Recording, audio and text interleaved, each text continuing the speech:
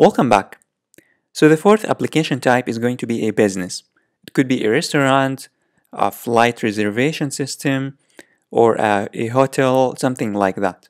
So I'm going to create a restaurant chat bot. So initially, I'm going to display the menu to the user, and I'm going to ask the user to choose whatever he or she wants. And then I'm going to ask them for details such as their name and address so that we can deliver food. And I'm going to also ask for payment online or on delivery. So what I'm going to do initially is that I'm going to display the menu.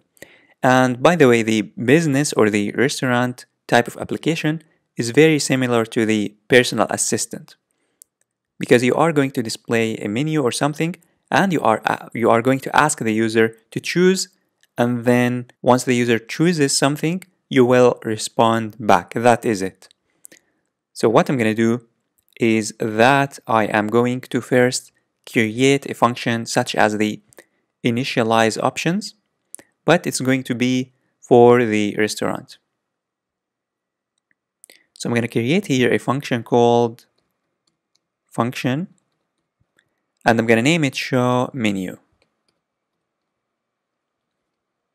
And it's going to have pretty much everything just like the initialize options except for the options.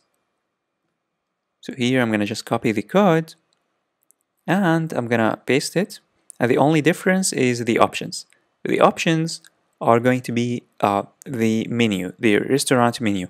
So here let's say meal 1, meal 2, and meal 3. Of course, you can customize this and add more meals and drinks, stuff like that, and associate each meal with a number. So that once the user chooses a number, you as the restaurant owner or the business owner, you know which meal or which uh, something the user has chosen. So let's now use the show menu. And of course, the show menu should be displayed immediately after the user opens the chatbot, not on a click event or something like that. So at the beginning of the program or the script, I am going to here just call the uh, show menu. And of course, you can start by welcoming the user by just using the chat bot send message and welcome the user.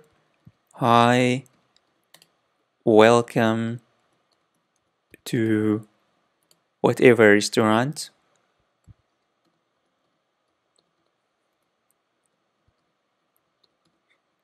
And let's now save and test.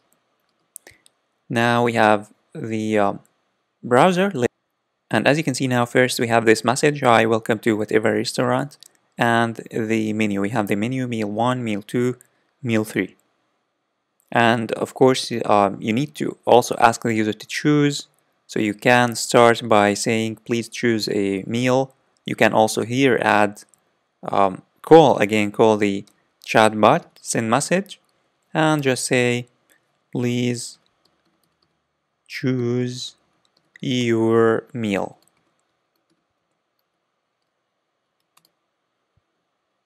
Of course, you can encourage the user to choose a number choose number so that the user knows that he or she must choose a number. Now let me just refresh and show you. Now uh, here please choose your meal and number and you can now here type 1 and send.